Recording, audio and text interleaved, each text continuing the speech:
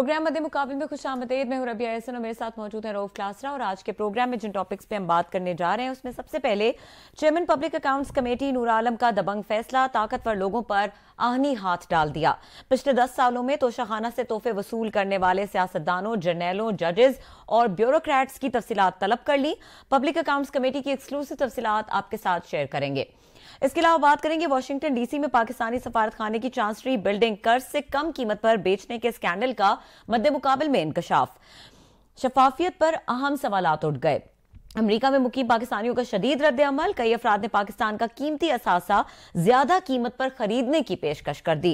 विफाकी हुकूमत का जीटीवी से रबता, हुकूमत ने स्कैंडल के बारे में अपना क्या रद्द अमल दिया है? आज मध्य मुकाबल में स्कैंडल के बारे में अहम मालूम आपके साथ शेयर करेंगे। इसके अलावा नैब तरामीम, उस असम्बली ने की, जो मुकम्मल ही नहीं, नैब कानून तरामीम केस और फौजी अफसरान की मुबैना करप्शन पर चीफ जस्टिस उमर अता बंदयाल और जस्टिस मंसूर अली शाह के अहम रिमार्क्स। केस का फैसला कब तक मुतव अहम तफसीत आपके साथ शेयर करेंगे आज के प्रोग्राम में। और हमारे साथ मौजूद होंगे सेनेटर मोहसिन अज़ीज़ साहब। उनको आज के प्रोग्राम में वेलकम करेंगे। क्लास साहब, हमारे साथ वो कुछ देर में मौजूद होंगे। ये जो तोशा खाना है, इसकी खबर आपने ब्रेक की थी। और तोशा खाना क्या है, लोगों को नहीं पता था। कौन से गिफ्ट्स हैं, कहाँ से आते हैं, कहाँ जाते हैं? ये जो बेसिक इसकी अवेयरनेस थी, वो आपके प्रोग्राम्स और आपके ये खबर ब्रेक करने से मिली थी, ये क्रेडिट आपको जाता है। आज इतने अरसे के बाद जो है, वो ये फैसला एक सामने आया है विच इज़ अ प्रैक्टिकल एक स्टेप सामने आया है कि रिकॉर्ड तलब किया गया है कि जी रिकॉर्ड मंगवाया जाए। अब एक तो थोड़ा सा टाइम ड्यूरेशन के पहले नूर आलम साहब सात साल का मांग रहे थे। मोहसिन अज़ीज़ साहब ने कहा कि दस साल का रिकॉर्ड जो है, वो तलब किया जाना चाहिए, उन्होंने इंसिस्ट किया। दस क्यों नहीं बीस दस क्यों बीस साल क्यों नहीं? थोड़ा सा इसके बारे में। चले अब आपने बात छेड़ी है तो हमारे पास मेरे पास ट्वेंटी थ्री ईयर्स का रिकॉर्ड तो है ये अच्छा। ये सरकारी रिकॉर्ड है। ये 1990 से लेके 2013 तक हमारा काम है रिपोर्टर का काम होता है। इसमें बड़े बड़े शुरफा के नाम हैं कई दफ़ा हम रिपोर्ट कर भी चुके हैं। बहुत सारी चीज़ें रिपोर्ट अभी हमने की भी नहीं है। तेईस साल का तो मेरे पास है। इनको पता कहाँ से मंगवाना चाहिए? चले ठीक है रिकॉर्ड आ जाएगा अच्छी बात है। दस साल का मंगवाया पाँच साल का बताएँ। हम्म। ये चीज़ें तो मैं आपको दिखा रहा हूँ ये ट्वेंटी थ्री ईयर्स का इसमें बड़े बड़े शरफा के नाम है। कुछ हम बताते बता भी चुके हैं बहुत सारे बताने वाले भी हैं। साहबजादा यकूब अली खान साहब के भी जो पाकिस्तान के फॉरन मिनिस्टर हैं उनके भी detail so it's long detail उन्नीस सौ नब्बे के बाद की। सारा कुछ इस वो कहते हैं उम्र यार की जुम्बील थी ना हम्म। ये जुम्बील में सारी चीज़ें मौजूद हैं। लेकिन इसमें जो अहम चीज़ जो असल काम हुआ है ना हम्म। वो बाकी तो आ चुके हैं या आएँगे आने चाहिए 2008 के बाद मतलब जन्म मुशरफ का पीरियड था शौक हम्म। अज़ीज़ का पीरियड था सबसे ज़्यादा तहफ़ उनके दौर में करोड़ों रुपए के तहफ़ हैं जिनकी डिटेल्स हम कई दफ़ा दे भी चुके हैं फिर जरदारी साहब और गिलानी साहब वाला दौर था हम्म। उसमें भी जरदारी साहब ने बी एम डब्ल्यू बला बला गिलानी साहब ने तोहफे तहफ़ टर्किश लेडी वाला हार वो भी हुए सारे हुए इसमें चीज़ें मेन जो पीरियड है ना जिसका किसी को नहीं पता चल हम्म। रहा जो छुपा लिया हुकूमत ने जब Mohsin Aziz sahab public accounts committee के मेंबर है अभी आएँगे इनसे रिक्वेस्ट करके सवाल भी पूछेंगे और ये बड़े एक्टिव और बड़े मतलब मुझे बड़े पसंद हैं ज़ाती तौर पर मोहसिन अज़ीज़ साहब सेनेटर और मुझे एक एक चीज़ का अफसोस है दुख है हम्म। कि इमरान खान साहब को अपने इन जैसे ये सेनेटर्स जो थे मैंने क्योंकि फाइनेंस कमेटीज अटेंड की है मैं हम्म। जाता रहा हूँ मैंने इनको सुना भी है देखा भी है कि ऐसे लोगों को आपको वज़ीर बनाना चाहिए था जिनमें कैपेसिटी थी इंटेलिजेंट थे हम्म। बात करते थे चीज़ इशू समझते थे आपने ऐसे भी भानुमति के कुंबे वाले आपने वज़ीर बनाए जिन बेचारों को खुद नहीं पता था हमने क्या करना था खैर मेरी बेस्ट ओपिनियन हो सकती है in favour of Mohsin Aziz sahab कि ये बड़े ज़ाती तौर पर जैसे मैंने मुझे पसंद हैं। वो रीज़न वही है कि मैंने इनकी परफॉर्मेंस देखी हुई है। और शायद खान साहब के इनको वज़ीर ना बनाने के रीज़न भी यही होगी कि मीडिया के लोग इनको पसंद क्यों करते हैं। आने लाइटर अच्छा। नोट दोबारा बाकी डिटेल मेरा ख्याल है मोहसिन नजीर साहब से खुद ही पूछ लेते हैं पी में क्या हुआ? जी मोहसिन साहब आपको वेलकम करेंगे। शो पे असलम जी वालेकुम जी। अच्छा मोहसिन अज़ीज़ साहब एक तो बड़ा अच्छा ये एक फैसला पब्लिक अकाउंट्स कमेटी का तोशा खाना तोशा खाना बहुत इसके ऊपर बात हुई। नूर आलम साहब सात साल का रिकॉर्ड करे थे आपने इंसिस्ट किया कि नहीं जी ये तलब किया जाना चाहिए दस साल का तो इससे पीछे का रिकॉर्ड क्यों नहीं आपने कहा कि या आप कोई प्लान है कि इंसिस्ट करेंगे कि जरा बीस सालों का रिकॉर्ड निकालें? थैंक यू वेरी मच एक तो मैं अभी थोड़ा सुन रहा था कलासा साहब की मेहरबानी। वो मुझे अच्छे अल्फाज में याद करते हैं अल्लाह उनको खुश रखे। और मैं तो बस पार्टी का खादिम हूँ। जहाँ पे भी ज़रूरत पड़ेगी इनशाला अपनी खदमात हासिल करूँगा। तो खाना का जहाँ तक तला कि देखिए जी इसमें हमने कुछ छुपने की बात है नहीं कोई लीगल बात हुई नहीं है। मैंने तो खुद इसमें एक कॉलिंग अटेंशन सेनेट में और एक क्वेश्चन भी डाला था स्टार्ट क्वेश्चन जिसको कहते हैं कि हमें जो है पिछले बीस साल का आप रिकॉर्ड दें और हमें इसमें कोई छुपने की बात है नहीं। लेकिन मुझे जवाब उसका ये मिला कि जी ये आ, हम इसका जवाब इसलिए नहीं दे सकते क्योंकि ये एक स्टेट की सीक्रेट है और ये अभी मैंने कोई तीन महीने पहले ये यानी आज की हुकूमत जो इसमें डाला था। बहरहाल अब पब्लिक अकाउंट कमेटी में इसकी ज़िक्र हुआ था आज। तो आ, मैंने उनको कहा पहले तो मैंने ये कहा कि पंद्रह साल का कम अज कम आप रिकॉर्ड दें ताकि तीन हुकूमतें हैं। एक पीपल्स पार्टी की है एक नून लीग की है उसके बाद हमारी है। और इसमें ताकि पता चले किसने क्या लिया किसने नहीं लिया। और उन्हें खैर बहरहाल उसको अभी दस साल भी किया लेकिन जब सवाल का जवाब अगर आ गया तो मैं ज़रूर उसमें इसको एक्सटेंड करना चाहूँगा, क्योंकि ये हमें देखना चाहिए, कम अज कम अगर और कुछ नहीं है तो 2005 से 2000 से देखना चाहिए, और ख़ास तौर पे जो मुख्तलिफ़ अदवार है उस पर देखना चाहिए कि उसमें कैसे आए। अब बात इसमें यह है कि हम, हमें तो जहाँ तक मालूम है, वो ये है कि इसमें जो कमेटी है, वो कमेटी उसकी प्राइस की असेसमेंट करती है, और टेन परसेंट प्राइस में मिल जाते हैं। ये जो तवायफ हुकूमत से किसी भी गैर मतलब जो कोई डिग्रेटरी आते हैं, वह तवाइफ तहाइफ देते हैं तो वो जो है, उसमें ये मिल जाते हैं। लेकिन पीटीआई ने अलबत्ता ये ज़रूर किया कि उसकी जो टेन परसेंट था, उसको बढ़ा के, मेरा ख्याल है आई एम नॉट रॉन्ग उसको पैंतीस परसेंट कर दिया। कि एक तो उसकी जो तहाइफ है, उसकी कीमत का जो भी अंदाज़ा लगाया जाएगा, जो भी असेसमेंट की जाएगी, उसके इंस्टेड ऑफ़ टेन परसेंट उसका थर्टी फाइव परसेंट दिया जाएगा। अब बात यह कि इसमें तो ऐसे बहुत सारे तहाइफ हैं जो कि फॉर एग्जांपल गाड़ी की उसमें आए हैं कार्स आई हैं या बुलेट प्रूफ व्हीकल्स आई हैं, वो तो रूल्स में मौजूद भी नहीं है क्योंकि उनको तो आप डिस्पोज ऑफ़ कर भी नहीं सकते। वो भी इस मुल्क में जो है डिस्पोज ऑफ़ हुए और उसके जो पैसे भी दिए गए, वो पैसे भी जो है ना किसी और के अकाउंट से आए तोहफे जो है किसी और ने लिए। इसी तरीके से बहुत सारे ऐसी चीज़ें हमारे मुशाहे में आई थी, जिस तरह के एक टर्किश की टर्की की फ़र्स्ट लेडी ने एक सैलाब जब यहाँ पे आया था, उसके लिए उन्होंने अपना जो है तो एक नेकलेस दिया था। वो नेकलेस तो बजाय तोशा खाने के, वो डायरेक्ट जो है पीएम हाउस में, बल्कि उसकी जो घर है, बल्कि जो उसका जो जाती घर है पीएम साहब का वहाँ लैंड किया। और बाद में जब उसके ऊपर एतराज़ हुआ तो तोशा खाना के थ्रू उसको बहुत ही कम कीमत में खरीदा गया। तो इसमें हमें आ, कोई डरने की बात नहीं है और ना ही इसमें कुछ छुपाने की बात है। वो जो पैसे आए हैं वो बिल्कुल डिक्लेयर किया गया है और पूरा जो है इसको एक लीगल तरीके से उसका ट्रांजेक्शन हुई है। कोई उसमें इलीगैलिटी नहीं है। अच्छा मोहसिन साहब आपने बड़ा ये तफसील से थोड़ा इशू समझाया है सर। एक दो चीज़ें हैं, सर। मैं भी आपको पता है पार्लियामेंट कवर करता हूँ, कमेटीज़ कवर करता हूँ कि बाईस कुछ साल मुझे भी हो गए इन्हीं चीज़ों को देखते हुए। उस वक्त मुझे याद है कि पहले सारे ये तोशा खाना का रिकॉर्ड जो है, कौमी असम्बली में भी वहाँ सवाल, ये वक्फ सवाल में जमा होता था, या कमेटीज़ जो है मंगवा लेती थी और कैबिनेट डिवीज़न इनको बिल्कुल वहाँ पे पेश करने का ये था इन पर लाजिम था, कोई सेक्रेसी नहीं थी। ये काम शुरू हुआ था 2017 में जब कलसूम यहाँ पे परवीन साहबा थे, मरहुमा, अल्लाह उनको जन्नत में जगह दे, उन्होंने एक सवाल डाला था, नवाज़ शरीफ साहब उस वक्त प्राइम मिनिस्टर थे, उन्होंने कहा, जी, हमें ये आप तफसील दें पिछले पाँच सालों को तोशा खाने की। तो उस वक्त कैबिनेट डिवीज़न ने लिख कर भेजा था सैनट ऑफ़ पाकिस्तान को सैनट इज़ सुप्रीम अथॉरिटी उन्होंने कहा हम आपको नहीं देते क्योंकि ये ये कौमी राज हैं सीक्रेट एक्ट उन्होंने आग जन्म मुशरफ के दौर दौर का 2002 का सीक्रेट एक्ट जो इन्फॉर्मेशन एक्ट था, उसको बुनियाद बना के उन्होंने कहा, जनाब, कि हम आपको इन्फॉर्मेशन नहीं देंगे सीक्रेट हैं। खैर, वो नहीं दी उन्होंने। जब आपकी हुकूमत है सर मतलब इमरान खान साहब है, जिनसे हम ज़्यादा ट्रांसपेरेंसी की उम्मीद रखते थे कि वो इनसे बेहतर हैं, खान साहब ने भी एग्जैक्टली वही प्ली ले ली थी और उन्होंने भी वहाँ पे ये इरफान सदीकी साहब ने सवाल डाला था, जैसे अब आपने डाला है तो उनको भी यही जवाब दिया गया था खान साहब के दौर में, ये सीक्रेट चीज़ें हम शेयर नहीं करेंगे। खान साहब ने अदालतों को भी यही बताया था ये इसमें इस्लामाबाद हाई कोर्ट में कि सीक्रेट हैं सर। तो सेक्रेसी का खेल तो फिर ये सारे खेलते हैं सर। नवाज़ शरीफ साहब भी खेल गए तो इमरान खान साहब भी खेल गए। अब आपको क्या लगता है कि अब आपको कैबिनेट डिवीज़न दे देगा सारी चीज़ें पी एस सी को, या वही जवाब आएगा कि भाई साहब ये तो सीक्रेट है, कौमी राज है, हम आपको नहीं बता सकते? देखिए, आपका सवाल बहुत अच्छा है क्लासा भाई। बात यह है कि जी देखिए, इसमें तो एक तो जब जवाब आएगा, अगर जवाब आए और हमें इसमें कोई खाइफ होने की ज़रूरत नहीं, लेकिन मैं ज़रूर उस वक्त सवाल ये करूँगा क्योंकि मेरे पास वो क्वेश्चन मौजूद है।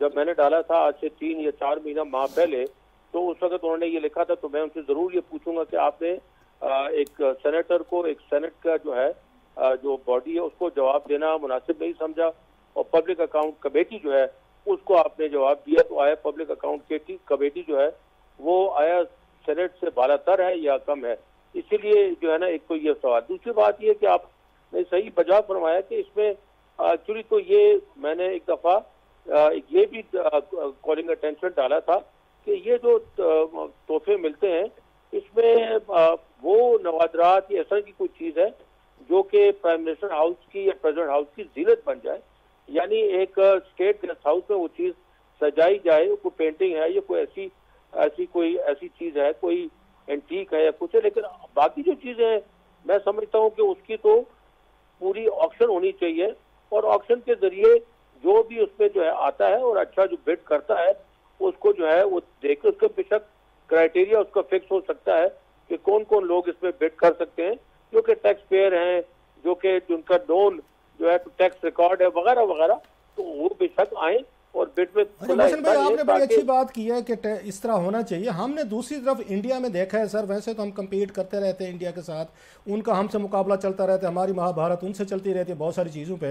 लेकिन नरेंद्र या मोदी साहब का एक वो क्लिप आया था जिसमें उन्होंने बताया कि उनको कितने इतने सारे करोड़ों रुपए के उनको तहफ़ मिले और उन्होंने घर लेकर नहीं गए। उन्होंने वो चैरिटी थी जो भी थी बेच के उन्होंने वहाँ पर हिंदुस्तानी अवाम के लिए उन्होंने कहा, जनाब, इनकी वेलफेयर पर खर्च करें। तो तो हमारे इसके साथ क्या प्रॉब्लम है? नवाज़ शरीफ साहब है, वो तहफ घर ले गए फरूक लगारी साहब ले गए शौक अज़ीज़ साहब ले गए। ये मेरे पास सारी डिटेल्स पड़ी है, मेरे सामने मैं इसलिए कह रहा हूँ। इसके बाद, ये चौधरी शुजात है, वो ले गए, जनरल मुशरफ ले गए, गिलानी साहब जरदारी साहब, उसके बाद इमरान खान साहब, राजा परवेज अशरफ लंबी लिस्ट है, सर। तो हमारे लीडर जो हैं, वो टम्पटेशन का क्यों शिकार हो जाते हैं, सर? कि अल्लाह ने इनको इज़्ज़त दी है, पैसा दिया है, मुल्क के बादशाह हैं। ये बादशाह जो थे, ये तो बैतुलमाल का माल समझा जाता था। तो ये कोई घड़ियाँ ले जाता है, सर? जैसे आपने कहा, कोई अभी वहाँ पे उनके जरदारी साहब की तरह कोई बीएमडब्ल्यू ले जाता है, गिलानी साहब की तरह वो नेकलेस ले जाता है। तो sir where is the problem हम तो बड़ा अपने आप को मतलब भारत के मुकाबले में उठा के रखते हैं। इंडियन प्राइम मिनिस्टर जो है वो सारी चीज़ें तोशा खाने की, वो जमा करवा के, वो कहते हैं, बेच बिचा के, अवाम पे लगे। हमारे वाले कहते हैं, हमारी अपनी गुर्बत नहीं दूर हो रही, हम अवाम की कैसे करें, सर? तो ये रवैया कैसे ठीक हो सकता है, जो बातें आप कह रहे हैं कि एक्शन करवाएँगे? ये तो नहीं होने देंगे। देखिए, इसमें ये एक मूवमेंट आज से ढाई तीन साल पहले चली भी थी, लेकिन मुझे मालूम नहीं है कहाँ पे सबसाइड हो गई, क्योंकि ये मूवमेंट एक चली थी कि जिसमें कि आप जिस तरह कह रहे हैं इंडिया के तरफ़ से यहाँ पे भी वो पैसा आए और वो पैसा जो है गुरबा के लिए वहाँ इस्तेमाल हो। ये एक मूवमेंट चली थी लेकिन मुझे पता नहीं कि उसमें हम उस वक्त गवर्नमेंट में थे और उस वक्त भी जिस तरह ये जवाब भी नहीं मिलते थे और साथ ही कहा जाता था कि ये स्टेट सीक्रेट है। ये बात बिल्कुल आप बजा फरमाते हैं। इस तरह होना इसी तरीके से चाहिए क्योंकि जो गरीब ममालिक हैं और हाँ और अमीर ममालिक की भी इसमें यही बात है कि जब तहफ़ दिए जाते हैं तो उसमें जो है इस तरीके से ये बात आनी चाहिए कि ये ट्रांसपेरेंसी भी उसमें हो और ये बहरहाल इसका मैं मतलब मुझे मालूम नहीं कि ये क्यों फिर ये जो है, ये चीज़ सबसाइड हो गई और ये चीज़ आगे नहीं चली। लेकिन होना बिल्कुल जिस तरह आपने कहा है इसी तरीके से होना चाहिए। राबिया कोई अच्छा, आपसे आपको फ़ायदा उठाते हुए पूछना चाह रहे हो इकोनॉमिक सिचुएशन पे आ, क्योंकि आपको पूरी इकोनॉमी पे भी बड़ी मैं इकोनॉमी भी पूछना चाहूँगी मुझसे दूसरा मैं ये पूछना चाहूँगी कि इमरान खान साहब से सबको बड़ी तवक्कुआत थी और जब वो अपोजिशन में थे वो तोशा खाना के हवाले से बहुत बात भी करते थे। तो जिस तरह आपने अभी बड़े मुबम से अंदाज में कहा कि पता नहीं क्या हुआ वो मूवमेंट दो तीन साल पहले उठी और फिर कहाँ रुक गई। इमरान खान साहब को तो इस पर स्टैंड लेना चाहिए था उनको तो इस चीज़ को अपने फेवर में इनकैश करना चाहिए था इसके ऊपर कानून साजी उसमें जो सीक्रेसी का एलिमेंट है उसको उठा के बाहर फेंकना चाहिए था क्योंकि ये स्टेट टू स्टेट एक रिलेशन है। और इसमें सिर्फ़ परसेंटेज बढ़ा के अभी भी आप देख रहे हैं जो रीसेंट स्कैंडल है, वो इमरान खान साहब पे तोशा खाना की घड़ी का ही है। तो आपको नहीं लगता कि जिस तरह का ट्रांसपेरेंसी क्लेम इमरान खान साहब से किया, करते हैं या उनसे जो तवक्कुआत है, उसमें उनको तो सबसे पहले इस चीज़ को टेकअप करना चाहिए था और कोई रेमेडीज की निकालनी चाहिए थी। देखिए, मैं आपको पहले भी अर्ज़ कर चुका हूँ कि मैं आपसे एग्री करता हूँ इस बात पे, लेकिन कम अज कम ये अप्रूवमेंट ज़रूर हुई। कि टेन से इसको थर्टी फाइव परसेंट किया गया, लेकिन दिस वॉज़ नॉट इनफ अब जो है इसमें तो देखे, सबसे पहले तो यही बात है कि इसमें ये कमेटी हट जानी चाहिए और सबसे पहले ये होना चाहिए कि ये तहफ जो है, वो ओपन मार्केट में आने चाहिए। और जिस तरह मैंने कहा, आपको क्राइटेरिया होना चाहिए अल्लाह करे। हमारी हुकूमत आए तो ये मेरा ख्याल है, मेरा पहला ही मुतालबा यही होगा कि ये जो है कर दिया जाए और मोहसिन भाई पहले आपको आपको पहले इन्हीं बातों की वजह से उन्होंने वज़ीर नहीं बनाया। हालाँकि मैं समझता हूँ अगर कोई मेरिट पे लोग कुछ भी के मैं टीवी पे कह रहा हूँ मैंने आपको सुना है मुझे आपकी कबलियत मैंने देखी आपका एक्सपोजर देखा है। मेरिट पे कोई वज़ीर बनता था आप बनते थे। फिर आप जो जाके मुतालबा करेंगे खान साहब से तो खान साहब तो खुश नहीं होंगे। आप चाहते हैं कि अगले अगले सालों में हुकूमत इनकी आप फिर वज़ीर ना बने। अब इसे बुनियाद रख रहे हैं ये डिमांड तो करके कि कि ये सारी चीज़ें जो है उसमें जमा करवाएँ।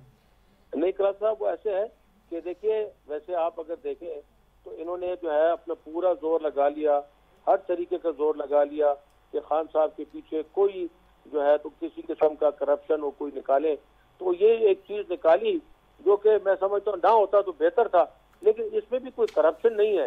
इसमें भी कोई, उन्होंने इलीगैलिटी नहीं की। इसमें भी कोई ऐसा काम नहीं हो कि जो कि लॉ ऑफ़ द लैंड इस तरह से कि इनके ये चीज़ें निकली हैं। जिस तरह से इनके घर निकले हैं जिनकी कोई ट्रांजेक्शन मौजूद नहीं है, चाहे वो जो है ना स्विट्जरलैंड में है कि चाहे वो लंदन में एवन फ़ील्ड में है, या जो यहाँ पे जो 16 अरब रुपए की एक ट्रांजेक्शन जो कि पकड़ी गई और उसके जो है तो लोग भी जो है ना उनको मर गए या फौत हो गए या किस तरीके से, वो भी एक मुआमा ही है। वो हो गए तो वो चीज़ें अलबत्ता खान साहब की उन्होंने बड़ी कोशिश करने के बावजूद भी नहीं निकाल सके। ना ही उनके जो मेजर वज़ीर हैं या ऐसे वजरा उनकी निकाल सके।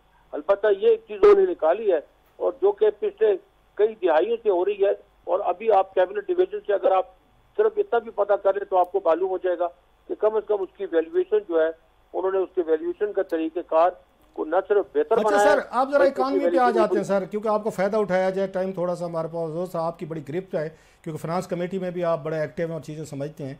इस वक्त मुल्क की मुआशी इकानमी की क्या सिचुएशन है जो मतलब खौफ है फियर है डॉलर नहीं है डिफ़ॉल्ट की तरफ़ जा रही है? आपकी क्या रीडिंग है सर इस बारे में सिचुएशन के बारे में? देखिए मेरे मुँह में खाक की जो है आदमी अल्फाज भी लेते हुए डरता है और अल्लाह से माफ़ी माँगता है। लेकिन इस वक्त तो जो है उम्मीद की जो किरण है जी वो भी खत्म हो चुकी है।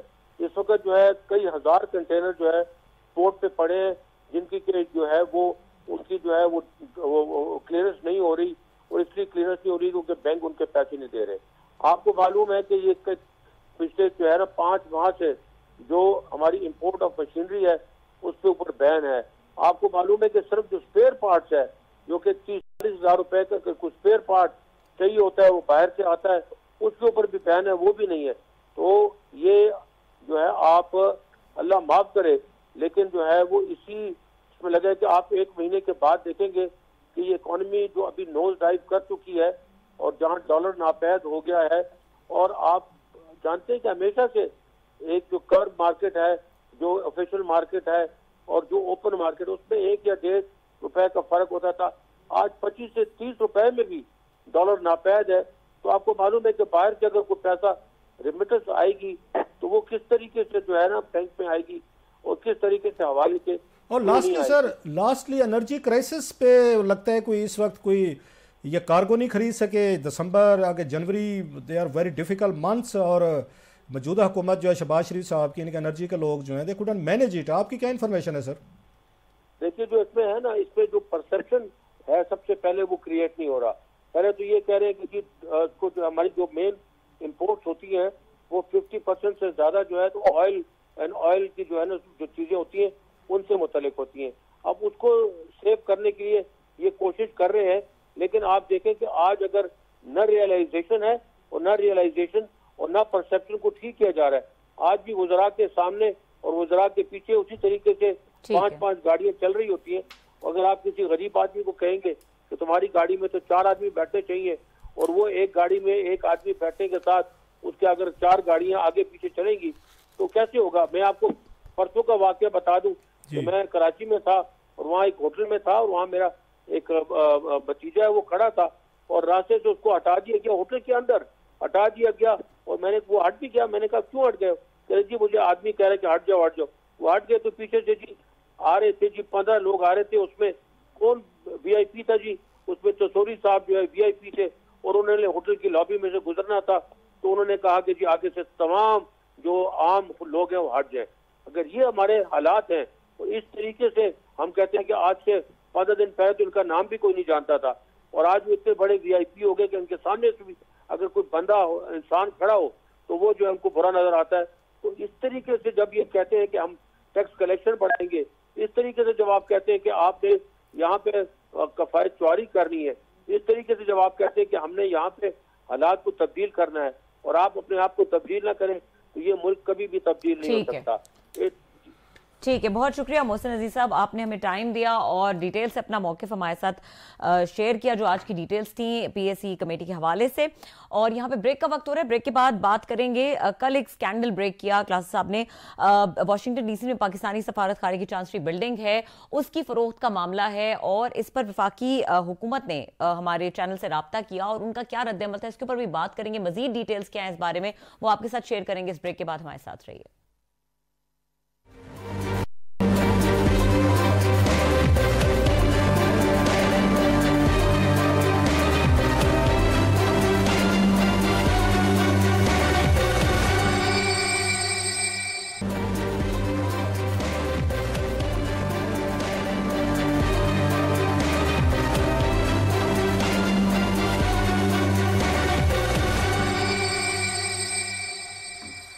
वेलकम बैक और इससे पहले कि हम नए टॉपिक की तरफ़ जाएँ क्लास साहब आप तोशा खाना के हवाले से कुछ बात कहना चाह रहे थे मेरा दिल चाह रहा शरारत सूझ गई है ब्रेक में बैठे बैठे ना हम्म। ये जो मेरे पास ये उन्नीस सौ नब्बे से लेके 2013 तक के है ना तेईस साल बनते हैं ना। तो किसी वक्त में जो बड़े बड़े ईमानदार लोग समझे जाते हैं इस मुल्क में बड़े बड़े ईमानदार हम्म। उनके बताऊँ कि वो क्या क्या चीज़ें जो है ना वो घर ले गए थे और क्या क्या ले गए थे।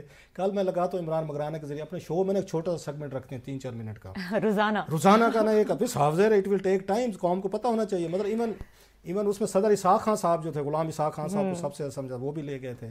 साहबजादा यकूब अली खान साहब ये उन्नीस सौ नब्बे हुकूमत में वो थे वो फॉरन मिनिस्टर रहे हैं। अच्छा इंटरेस्टिंग बातें ये कि उनके जो चीज़ें वो लेके गए ना वो भी बड़ी मज़ेदार मज़ेदार चीज़ें बड़ी लोग मतलब मज़े आएँगे और भी बहुत सारे हैं फरूक लगारी साहब की बड़ी लंबी लिस्ट है।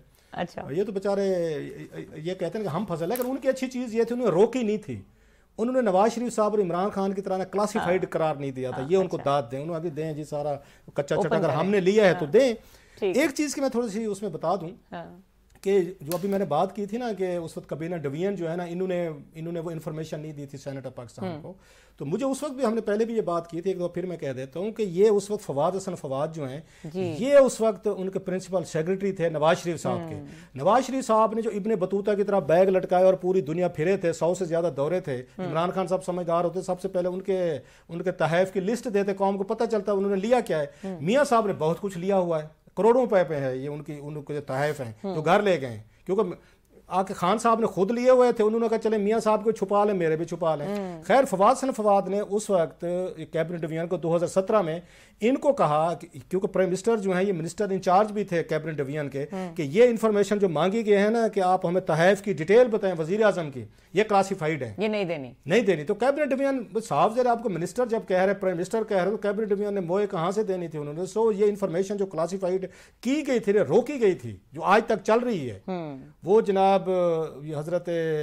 ये फवाद फवाद साहब ने आली जनाब हिज एक्सलेंसी नवाज़ शरीफ साहब के कहने पर सेनेट को इनकार किया था हम्म। और दाद ये आपको स्क्रीन पे नज़र भी आ रहा होगा ये ये वो चीज़ है जो लिख के दी गई थी सेनेट को तो उसके बाद इमरान खान साहब ने बाकी नवाज़ शरीफ को पसंद नहीं करते उन्होंने कहा जी बेती गंगा में हम भी ना ना ना ना उन्होंने कहा ये क्लास भाई बड़ी ज़बरदस्त ढूंढी उन्होंने फिर हाँ। जो उस आज़म खान साहब थे बैठे प्रिंसिपल सेक्रेटरी हाँ। उन्होंने कहा जी फवाद फवाद ने जो वो ढूंढा था ना वाया भटिंडा हम्म। तो उन्होंने कहा ये लिख के आप भी भेज दें वो वहाँ लड़ते रहे थे पूरी अदालतों से वो तहफ फिर भी निकल आए थे। मैं अच्छा, क्लियर कर दूँ मैं अच्छा क्लास साहब अब आ, कल आपने एक स्टोरी ब्रेक की थी और उस पर जो है वो मरियम औरंगज़ेब साहिबा ने अपना रिस्पॉन्स दिया।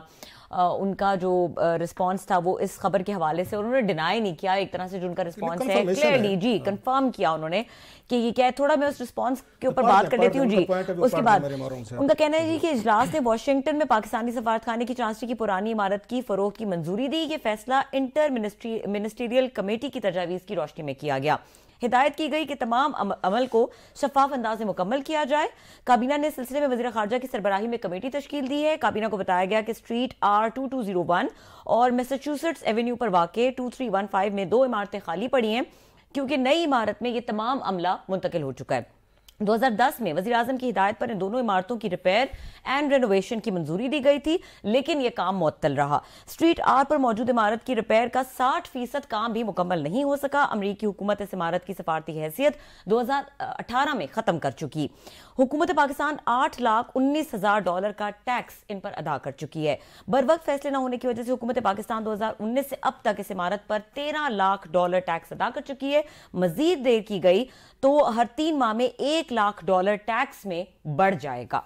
जी क्लासेस साहब। ये मरियम औरंगज़ेब साहब ने आज मुझसे रब्ता किया था बीइंग इन्फॉर्मेशन हम्म। ये मिनिस्टर साहब जरा कैबिनेट इजलास में मौजूद थी उन्हीं ने मेरा ख्याल है वो अपनी प्रेस कॉन्फ्रेंस में कहा था। ये तीस नवंबर की ये कैबिनेट है जो रात हमने स्टोरी ब्रेक की। और ये स्टोरी अब अंडे बच्चे देना शुरू हो गई है। हम्म। बल्कि कल आपको बड़ी दिलचस्प डिटेल बताएँगे कि जिस बंदे को ये बेची गई है ये इमारत वो हम्म। कौन है? असल अच्छा। स्टोरी वहाँ पे है वो कहते हैं devil is in the details कल आपको हमने जरा उस पर रिसर्च में हम लगे हुए हैं वो हम्म। आपको डिटेल देंगे कि ये कंपनी जिसको बेची गई है मेरी तला ये है अब तक की बाकी तो मैं आपको बताऊँगा कल ही वो 2021 में बनी है कंपनी पिछले साल बनाई गई ये कंपनी जिसने ये अब ये खरीदी है सिक्स मिलियन डॉलर पे जो हमने अच्छा। कल बताया था हम्म। कि ये जो थी वो चांसी वाली थी कि इसकी इन्होंने फोर मिलियन डॉलर की इन्होंने बेस प्राइस रखी थी हम्म। और एट मिलियन डॉलर की इनको वो हुई है ऑफ़र आई है ये जो एक्सेप्ट कर ली गई है और प्लस प्लस जो जो बड़ी खबर थी लोगों के लिए शॉकिंग थी और बड़ी स्कैंडलस थी वो ये थी कि जनाब इस पे जो दो बिल्डिंग्स इन दोनों बिल्डिंग्स पे इन सत्तर लाख डॉलर जो है कर्जा लिया था नेशनल बैंक से डॉलर्स हम्म, में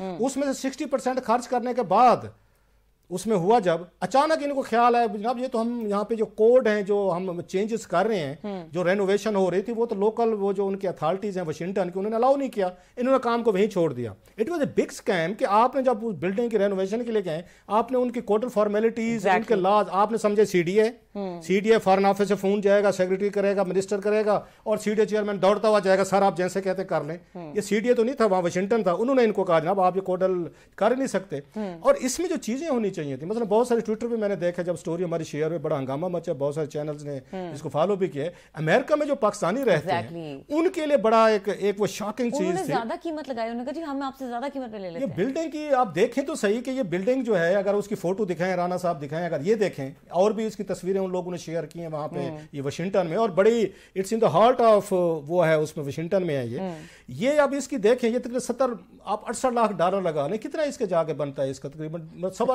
डेढ़ पे होगा। इतने का प्लाट तो आपको ये कमर्शियल एरिया इसमें नहीं मिलता आपको ब्लू एरिया में नहीं मिलता। पच्चीस अरब रुपए का वो बता रहे थे ये जो आपका ये बना हुआ है यहाँ पे। गीगा मॉल गीगा मॉल तो पिंडी में इसका क्या नाम है जो आप सफ़ा। गोल्ड में देख लें। हम्म। ये जो बिका था आपका यहाँ सेंटोरस देख लें। हम्म। आप इतनी बड़ी बिल्डिंग बेचने जा रहे हैं बहुत सारे पाकिस्तानी ने वहाँ पे ट्वीट किए थे। एक ने कहा है अब मुझे नहीं पता हाउ सीरियस सिटी समटाइम लोग वैसे बात कह लेते हैं। उसने कहा बारह मिलियन डॉलर की तो मैं लेने को तैयार हूँ। मेरी मुझसे बात करें। हुकूमत क्या है कि जनाब हमने उस वक्त जो है हमने उस वक्त इसको वो किया एडवर्टाइज किया था तो छह बिडर रहे थे। हम्म। सवाल इसमें दो चार बड़े उठते हैं। कल वाली स्टोरी तो हम लेकर आएँगे आपके साथ और डिटेल देंगे। हम्म। वो कंपनी कौन है वो बंदा कौन है जिसको ये इन्होंने बेची है। सवाल सबसे बड़ा आपको बनता है कि प्राइम मिनिस्टर साहब को इंक्वायरी हम्म। ऑर्डर करनी चाहिए थी अगेंस्ट द फॉरन ऑफ़िस इनके बाबूस के कि 2003 से 2022 आज तक ये बिल्डिंग खाली कैसे पड़ी रही है क्या रहा था? बिल्कुल। और जिसकी वजह से उन्होंने स्टेटस विदड्रॉ कर लिया वहाँ लोकल काउंसिल ने डिप्लोमेटिक और ये जुर्माने पड़े हैं। ये जो नौ लाख डॉलर जो बता रहे हैं। ठीक है। मरियम साहबा कह रही हैं हम्म। ये इस वजह से जुर्माना पड़ा है कि उसका जो डिप्लोमेटिक स्टेटस आप बिल्डिंग का खाली पड़ी रही है तेईस हम्म। साल तक खाली पड़ी रही है वो विड्रॉ कर लिया विड्रॉ की आप पे टैक्सेस पड़ रहे one point three million dollar और ये नौ लाख डॉलर आप बिल्कुल चाहें तो ब्रेक के बाद इस पर बात मजीद भी कंटिन्यू कर लेते हैं और नैब जी। इसको ये स्टोरी हमने मरने नहीं देनी। I have lot of information about this stories we will continue to follow ठीक है फॉलो अप रखेंगे और इसके अलावा नैब तरमीम के हवाले से जो हियरिंग हुई है उसके ऊपर भी बात करेंगे। ब्रेक के बाद हमारे साथ सभी हुसैन मौजूद होंगे। कोशिश करेंगे कि उनसे जाने की डिटेल्स क्या है। ब्रेक के बाद हमारे साथ रहिए।